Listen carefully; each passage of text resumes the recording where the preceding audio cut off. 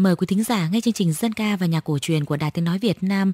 Trong buổi này chúng ta sẽ nghe một số tiết mục hát trèo.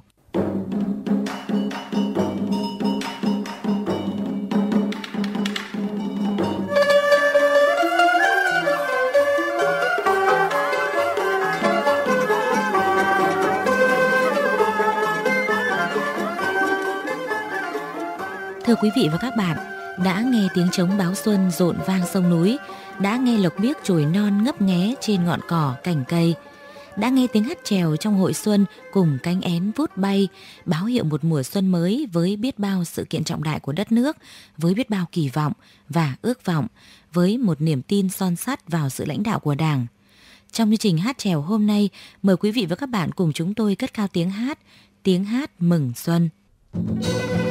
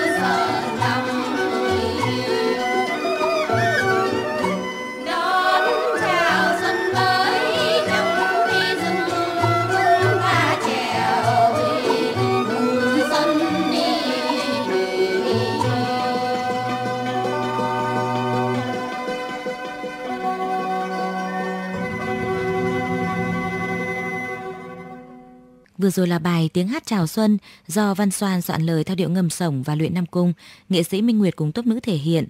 Hai nghệ sĩ ưu tú Xuân Hanh và Minh Tâm song ca sau đây bài Khúc hát xuân nay, lời của công sáu viết theo điệu Đường trường bán thước.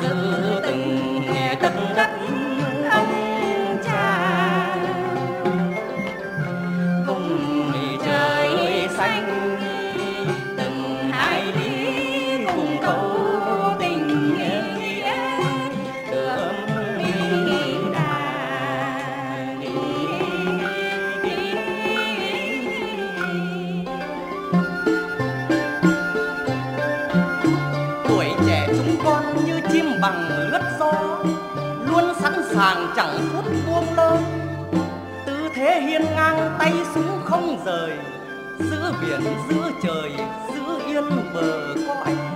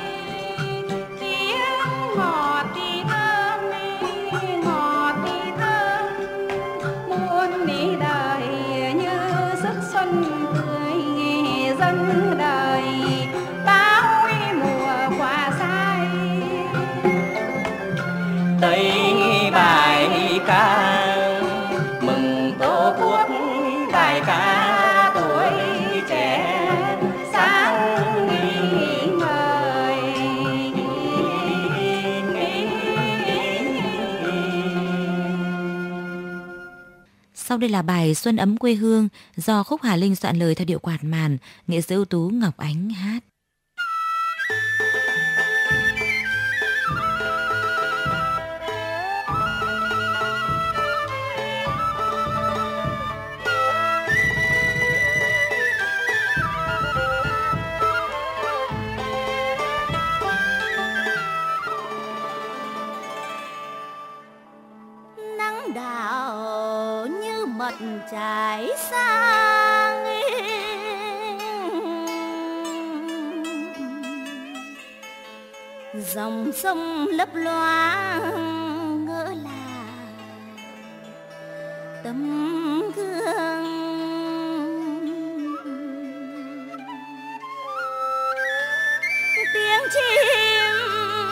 Xíu rít trong vườn.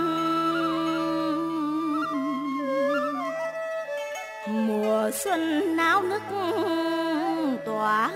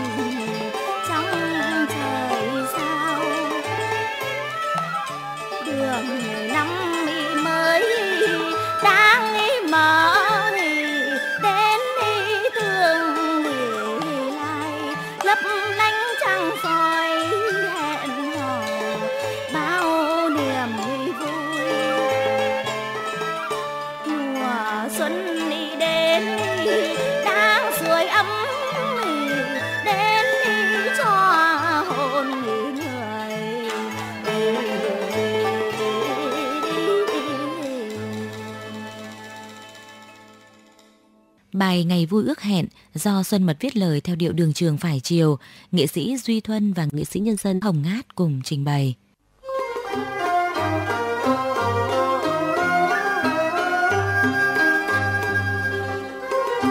Chúc sinh chúc mọc đầu đình, em sinh em đứng một mình đời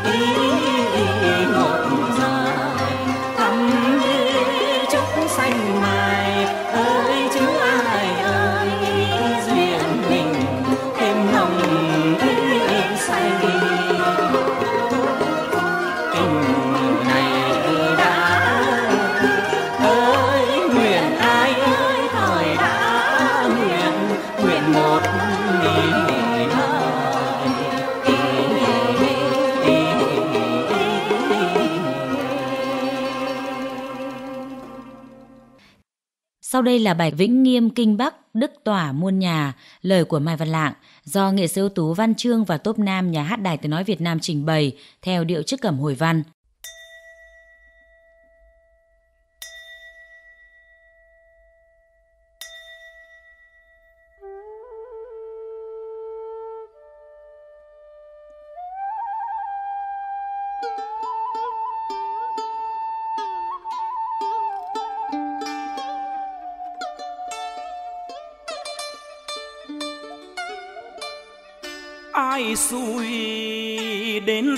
Đến lục đầu. Đức là thôn cổ nhuốm màu. Biết xanh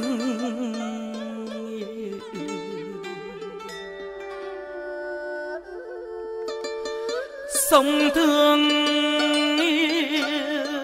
sông lục bao quanh.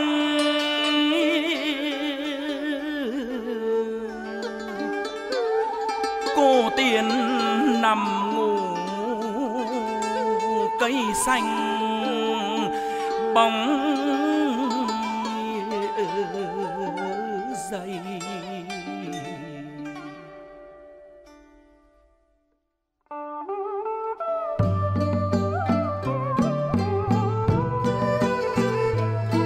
sách trời ghi Nam Quốc, Đất Kinh Bắc đã khoanh. Đẹp thay huyền Phượng Nhợn Có ngôi chùa Vĩnh Nghiêm. Trồng bảy tầng cây bau Tụ năm sắc mây lành.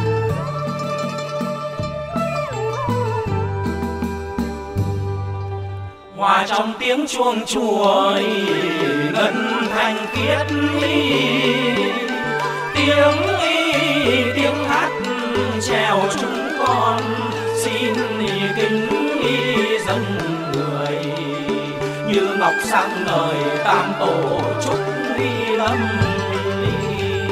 chiến thắng giặc xâm lăng đất nước thanh bình xin giữ đạo hằng cho trăm họ âu ca ơi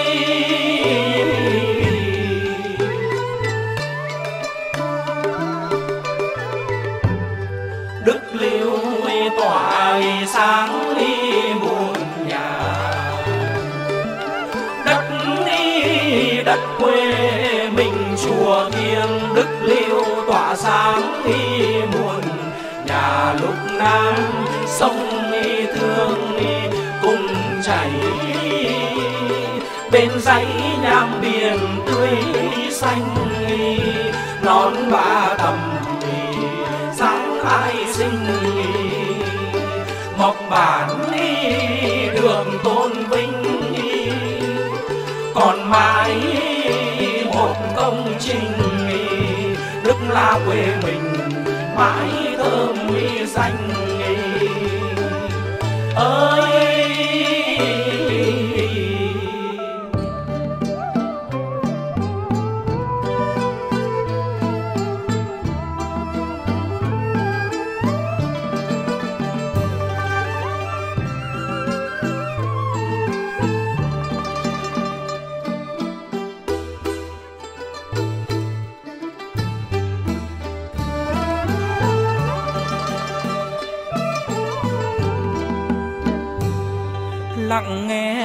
Chim ríu rít chuyện cảnh,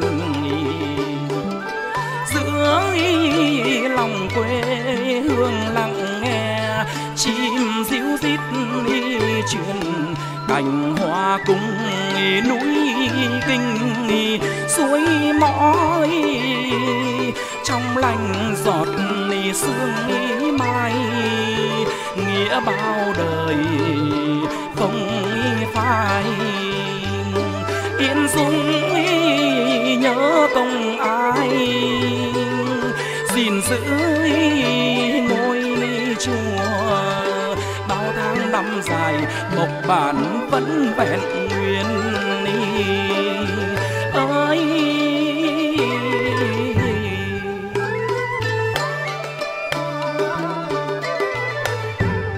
khơi trong đi gạn đi đục đi lưu phiền. Vắng đi vắng cảnh chùa hơi trong gạn đi đục đi xa thấy lòng thanh thản đi. Với một niềm thành kính tôn nghiêm đi trốn cửa tiền đi không bon chen đi. Buồn đúc đi khí tiếng đi, linh tụ bao đời. Vĩnh nghiêm dạng đời Kết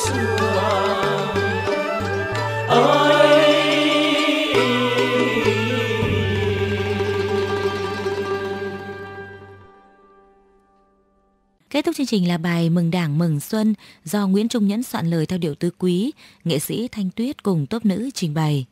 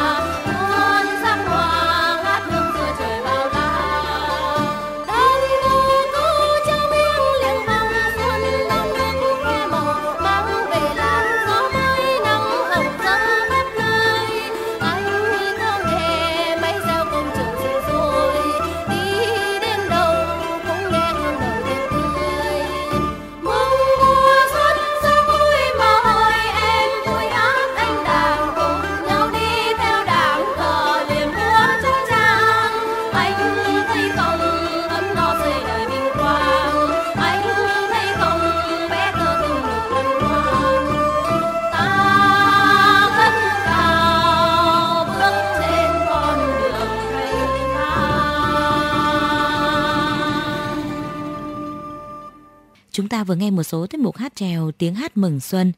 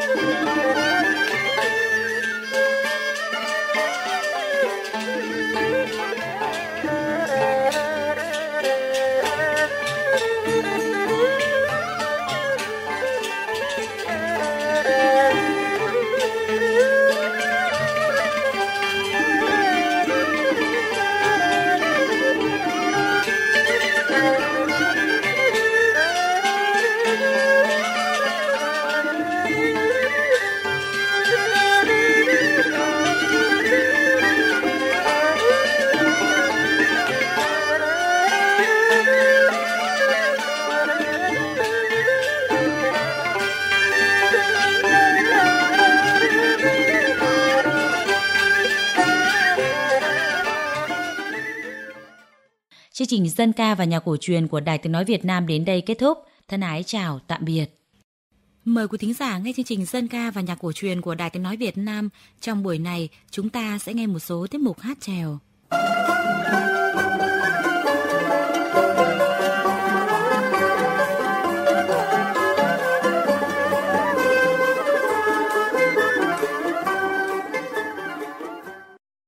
Chào quý vị và các bạn. Mở đầu chương trình hát trèo với chủ đề Ấm tiếng quê hương hôm nay, chúng ta cùng đến thăm một vùng đất ven sông đáy. Nơi ấy có những người con bình dị mà cần cù, chịu thương chịu khó. Chính họ đã làm nên một vẻ đẹp rất riêng của làng quê Việt Nam. hỡi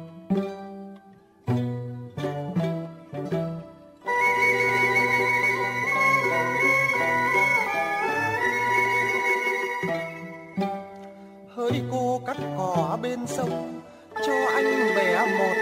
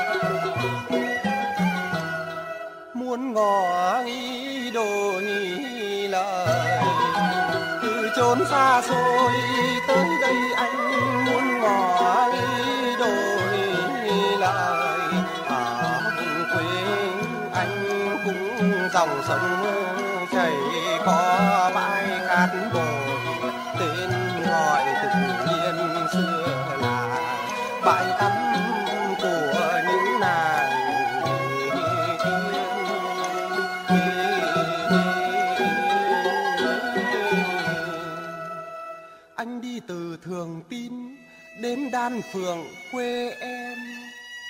Kia xóm trài vạn vĩ thân quen.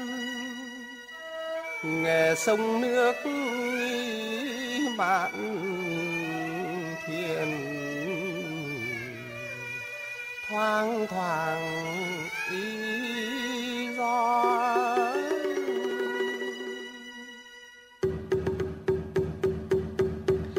sống mới như cánh buồm rộng mở. Sông đây sông hồng hóa nỗi ước mong.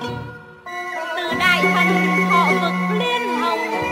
Con trăng, con trôi vẫy vùng mặt nước. Anh về ngã bụi che hồng, dựng lều thả cá trên dòng sông. Quê ngày xưa cá đi ăn thề xuân này anh đợi em về thăm cá anh nuôi con sông quê vẫn chảy, nay con cái vẫn lội nó lội, thì vùng vậy. Tôi hỏi hỏi con sông rằng biết chăng bên đời thuyền mong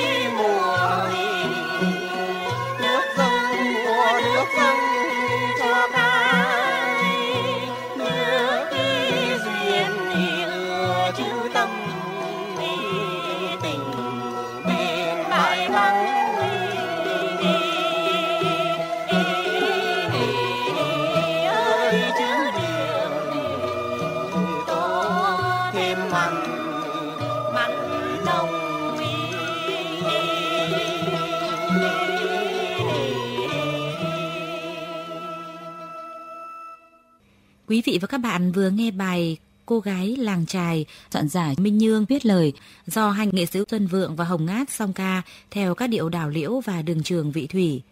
Tiếp nối chương trình, mời quý vị và các bạn cùng soạn giả Trần Quỳnh đến thăm một vùng đất từ lâu đã trở thành điểm du lịch khá nổi tiếng của cả nước, vùng đất Sầm Sơn. Thông qua hình tượng rừng và biển, hai tài nguyên thiên nhiên nổi tiếng của cả nước, Thông qua một lá thư tình rất trèo, soạn giả muốn đưa người nghe đến với vùng đất đẹp giàu, vùng đất nhớ thương đang trở thành một trong những mũi nhọn kinh tế của xứ Thanh.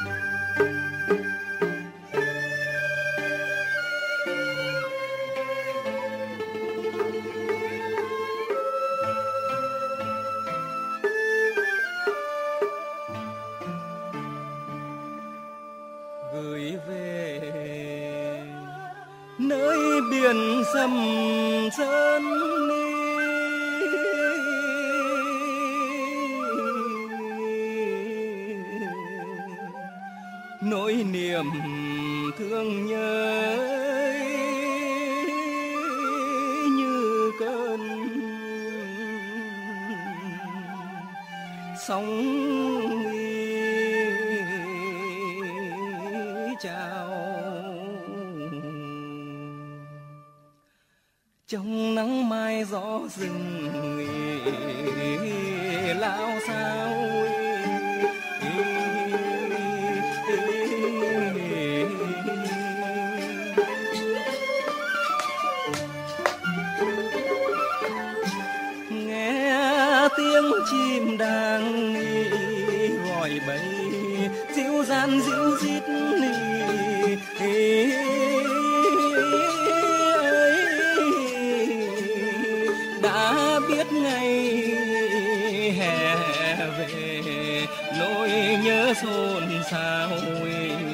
tình rừng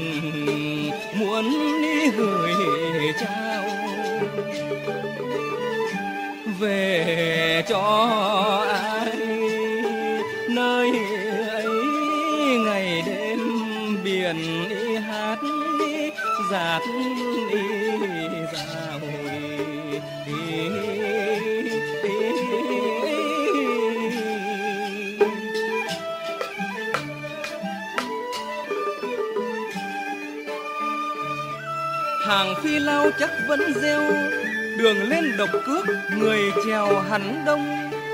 Trên ngàn con sóng mênh mông, bao nhiêu đôi lứa bồng bềnh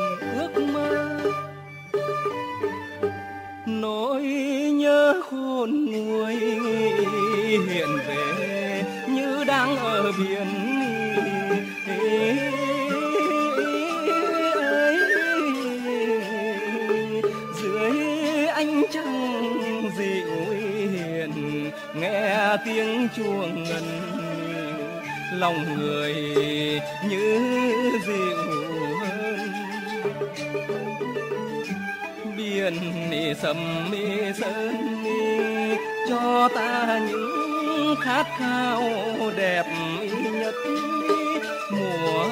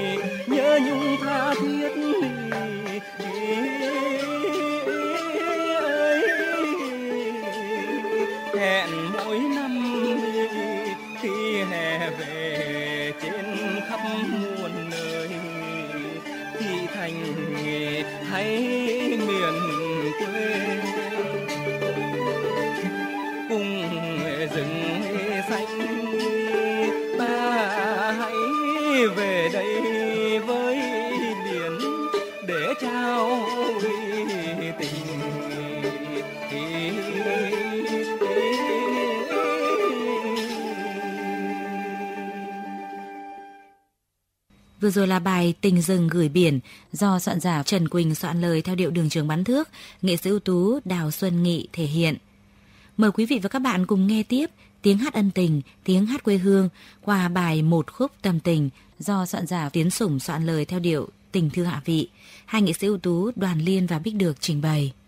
Đây là lời tâm sự chân tình của một đôi trai gái, họ yêu thương nhau, hát cho nhau nghe khúc hát ân tình, câu hát của họ trọn vẹn, sắt son đảm thắm.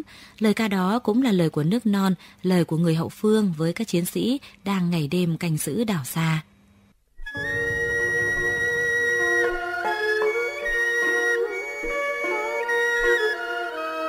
anh ơi ở chốn đảo xa có nghe khúc hát quê nhà men thương ồn ào sóng gió đại dương vẫn nghe tiếng hát quê hương ngọt ngào.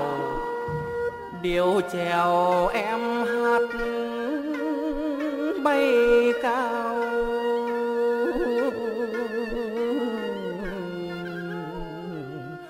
Như làn hơi ấm thổi vào. Hồn anh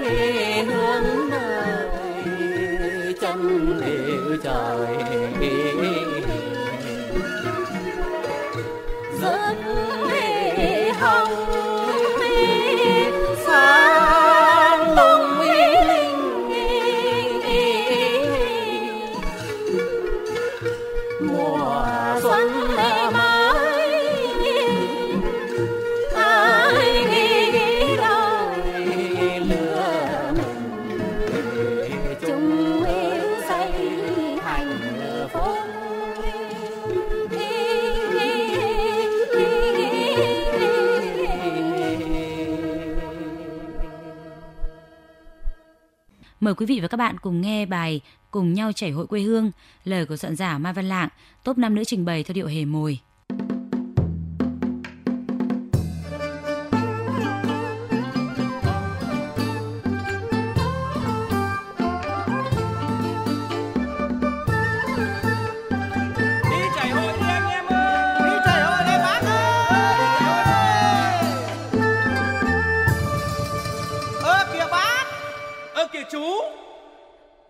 em ta cùng nhau đi chảy hội hội làng. À, à, à, à, à, à, à, à, à, à, à, à, à,